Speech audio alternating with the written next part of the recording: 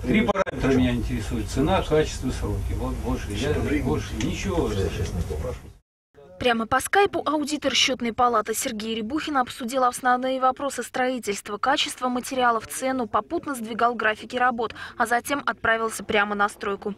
Православная гимназия преподобного Илии Муромца торжественно откроется уже летом 2013 года. Глядя на бетонный остров будущего учебного заведения, сегодня в это верится с трудом, но сомнения отпадают, видя, как быстро строители возводят стены сооружения. По словам начальника участка Николая Солдатова, полностью наружные стены зданий будут возведены уже в первой декаде декабря.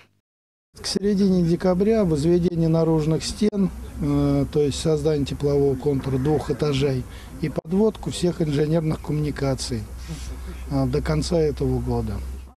Сергей Рябухин признался, за строительством гимназии наблюдает каждый день лично дистанционно и раз в месяц снимки стройки показывает председателю счетной палаты Сергею Степашину.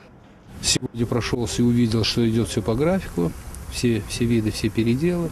На ходу мы несколько инженерных решений приняли. Вот этот крупный, вот такой э, крупноблочный кирпич э, с киржача мы завозим. Это современные технологии. Они заменят приблизительно миллион э, штук условного кирпича. Очень высокотехнологично, дешевле. Вот создали здесь э, вариант, который, технологический вариант, который позволил удешеветь.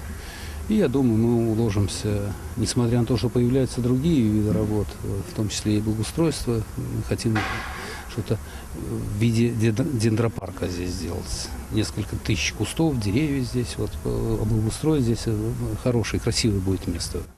Православная гимназия станет первым в Муроме зданием, построенным по монолитно-каркасной технологии, заверил нас начальник участка Сергей Солдатов. За 30 лет работы такое сооружение ему приходится возводить впервые.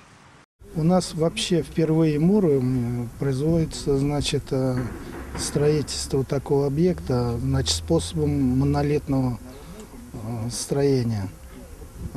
То есть используется инвентарная опалубка и, э, значит, заливается несущие колонны и полностью прикрывается этаж монолитными плитами.